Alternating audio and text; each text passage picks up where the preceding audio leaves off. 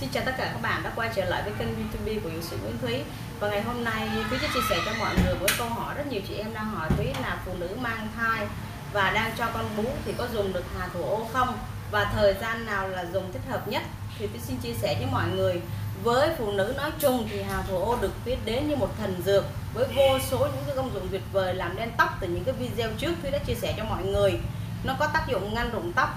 à, tóc bạc sớm bổ huyết và nhuận tràng. Nhưng đối với những phụ nữ mang thai thì có nên uống hà thủ ô không? Thì đây là một câu hỏi rất được nhiều chị em phụ nữ mình đang quan tâm. Thì hà thủ ô là gì và có thai có thể uống được không? Thì tôi xin chia sẻ với mọi người, hà thủ ô là một loại thảo dược rất là nổi tiếng trong đông y. Được phân thành hai loại là hà thủ ô trắng và hà thủ ô đỏ. Trong đó, hà thủ ô đỏ thường được dùng để chữa bệnh và loại cây này có công dụng là bổ can dưỡng huyết ích thận, trừ phong và trị các cơn đau chóng mặt, đau đầu và giãn những cái vấn đề mà gân cưa gân xương bị đau nhức á, thì làm cho tóc của mình đen hơn, râu của mình đen hơn và đau mỏi, xương khớp nó sẽ được giảm đi và suy nhược thần kinh sẽ được ổn định hơn. Cùng với sự phát triển của xã hội và các loại dầu gội và mỹ phẩm ngày càng góp nhiều phần nâng cao cái chất lượng cuộc sống cho người dân tuy nhiên bên cạnh những cái ờ, mặt trái của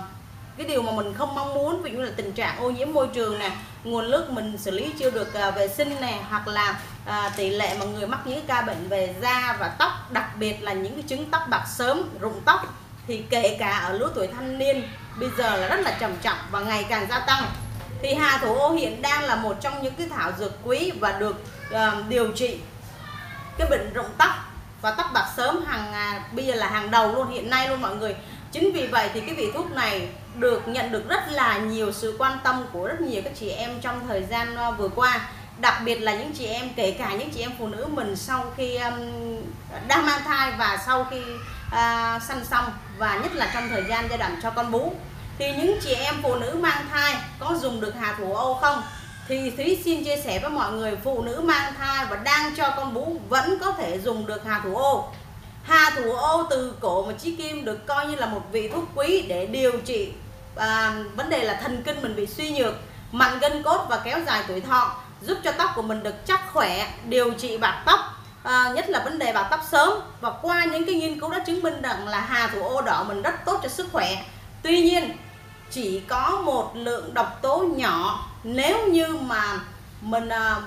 mình dùng phải một cái sản phẩm hà thủ ô mà nó được ờ, loại bỏ sau khi chế biến theo một cái phương pháp truyền thống loại bỏ hết được những cái độc tố rồi thì mọi người dùng ok. Và khi mà phụ nữ đang cho con bú thì có dùng được hà thủ ô không? Thì tôi xin chia sẻ với mọi người là theo các cái tài liệu cổ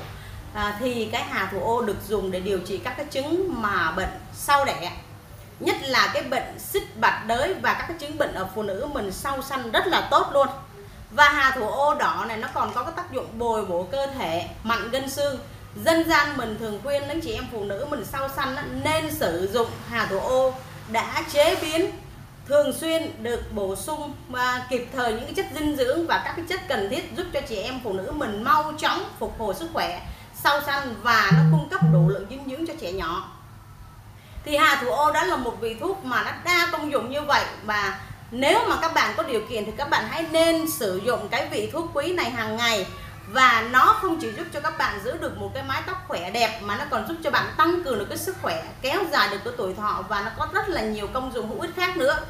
Và khi mọi người lưu ý giúp em là khi mọi người sử dụng cái hà thủ ô đỏ này thì một số thành phần mà kỵ với hà thủ ô thì các bạn nên tránh giúp thí, đó là mình hạn chế việc sử dụng tỏi gừng ớt um,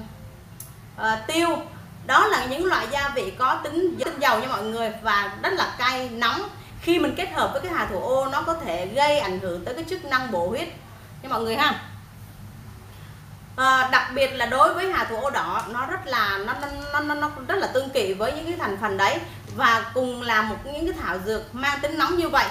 nhưng với những cái gia vị gừng mà ớt tiêu tỏi hành này ấy, thì thường nó đưa những cái tính nóng hướng thoát ra khỏi cơ thể. Còn hà thủ ô thì lại đi ngược vào sâu bên trong cơ thể của mình. Để hà thủ ô phát huy được hết tất cả những công dụng những cái công năng mà người bệnh à, Thúy khuyên là nên ăn ít những cái đồ mà tăng ví dụ như là huyết động vật này củ cải này cá ốc đấy nha. Khi dùng hà thủ ô xin chúc mọi người à, à, xem video này có được